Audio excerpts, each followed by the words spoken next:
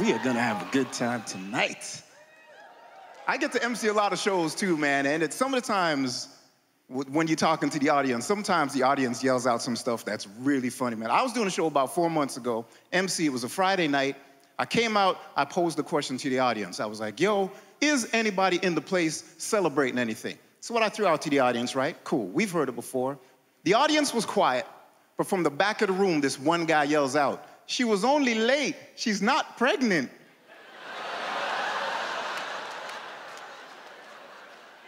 Like, isn't that inside voice? He just shot that out?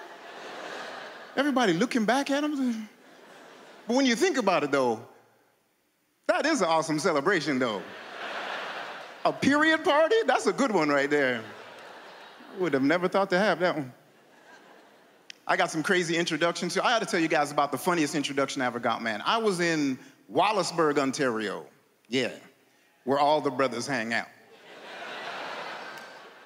I was in Wallaceburg, Ontario, man. I was there. I was with two other comedians, two white guys, really cool white guys. Now, I have to mention that they're white guys because of this experience. Because we go in, the event coordinator, she steps up, she introduces herself. Lovely lady.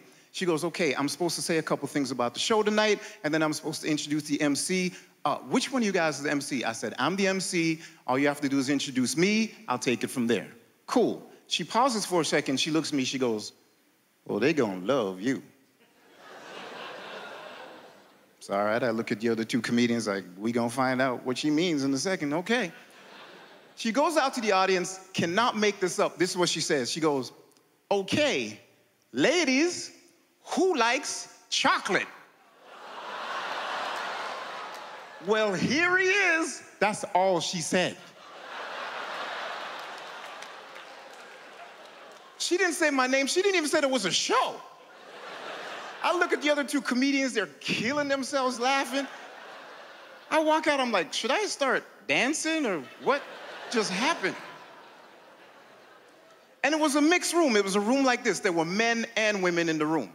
I'm sure there were at least two men in the room, like, well, I like chocolate too. Like, what's her problem? Like, I get to travel a lot, which is good times, man travel a lot. If you get the chance to check out West Edmonton Mall, I was out in Edmonton a while ago. If you get the chance to check out that mall, check that mall out. It's actually really cool. Huge, huge mall. There's a water park in that mall, there's an amusement park in that mall. Weird fact about this mall, this is real. When I was out there at that time anyway, there was a gun range at West Edmonton Mall. That's real. They had a gun range at the mall. What the hell's wrong with you people? Why you put a gun range at the mall? Whatever. I was out there, I was on tour with two other comedians, two white guys. Now, again, I have to mention that they white guys because of this experience. Because we get set, we decide to check it out. We go in the gun range, they set us up. They give us the goggles, they give us the earphones. Now they start to break down all the instructions. It's like, okay, this is how you aim the gun, it's where you load it, it's where the safety is. He's breaking down all these instructions, right? He's telling them this, and he looks at me and goes, You got this, right?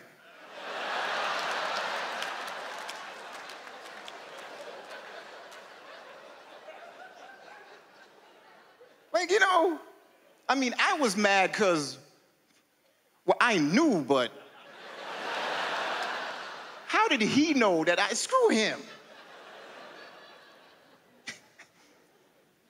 Looking around the room, I'm seeing a lot of couples and stuff like that.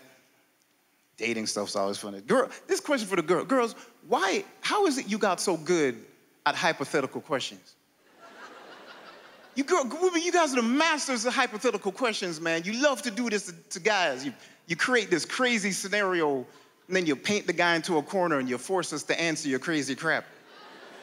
How you get so good at that? I remember one time I was hanging out with this girl. This is the question she asked me. She goes, Suppose I got into a car accident and half my face was ripped off.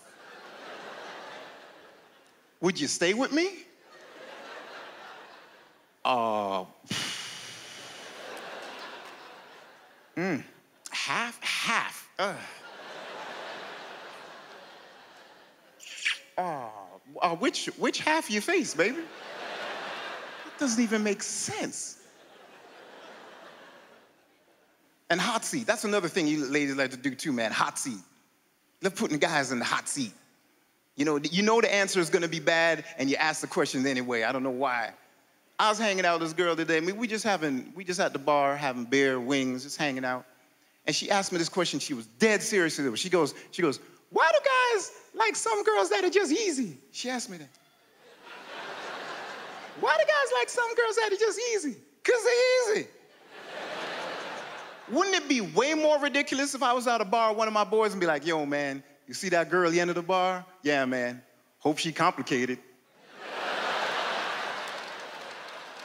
Yo, you guys been great. My name is Patrick Haye. Have a great night. Peace.